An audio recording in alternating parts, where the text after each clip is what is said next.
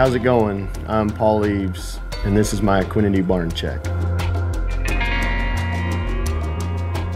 So my family was not into roping or rodeo. Me and my sisters, we we uh, really wanted to ride. When I was about eight, nine years old.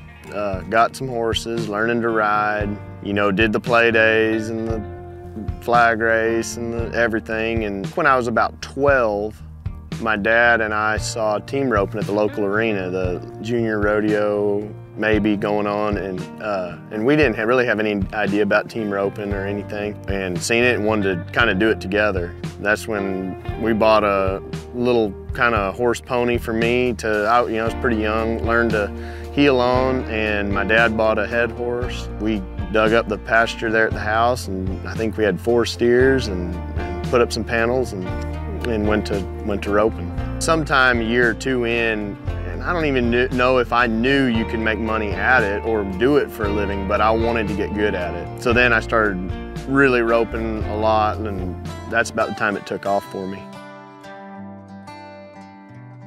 Amanda and I bought this uh, place in early 2016. We uh, really liked the area and there wasn't anything here. We had uh, just a raw piece of land with, with a house on it and so we pretty much did everything and cleared the trees and, and built all the horse pens and arena and starting to take shape into what we're wanting.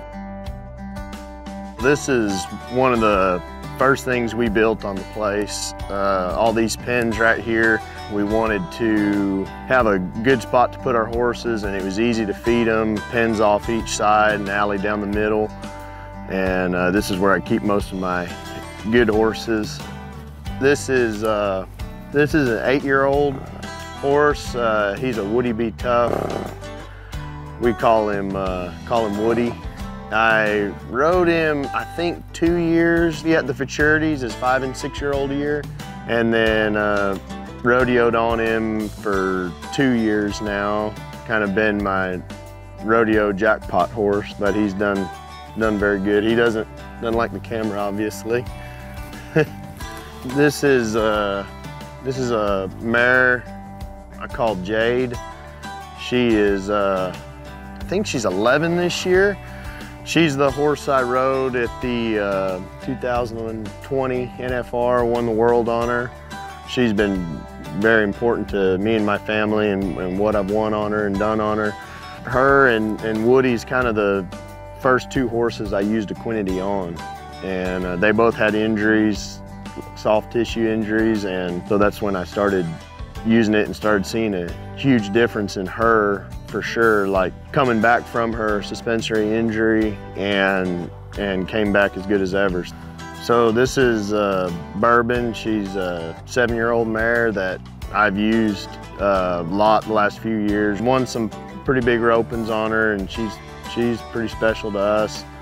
Um, she had an injury, soft tissue injury last summer that kind of kept her out half the year and so really having Equinety to, to help bring her back and, and get everything healed up has uh, really sped it up for her and, and it's helped me as well. You know, we're asking them for everything they got. I mean, it's, you know, just how I give everything I have into roping. It takes everything they have physically and mentally too. I mean, it's not just, you know, being an athlete. It's them mentally being into it and and the really great ones, they really want to do good. To me, like a, a good horse, yeah, they're athletic, do all the stuff, but a great horse to me is just, they, they want it as much as you do. Doing what we're doing, you're gonna have some injuries. You're, you know, it, we're asking a lot of them, good ground, bad ground, everything.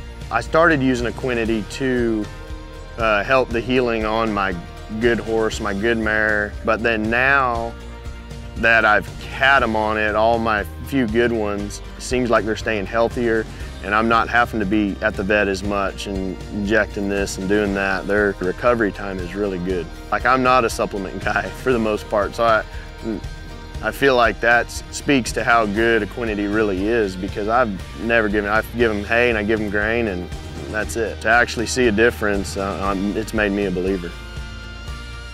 This is my arena. One of the first things, like I said earlier, we built on the place. Keep making improvements to it and make stuff easier, more comfortable for us. The two biggest things I've done with it is uh, put this box cover up over here and then put the arena lights up. To have the lights where we can rope early morning or, or late into the night has, has really helped us, helped our keep our horses feeling good and cattle. For us, this is where it all takes place and, and uh, we spend more of our time here than, than anywhere. Well, with that, we'll uh, get our horses ready and get to roping.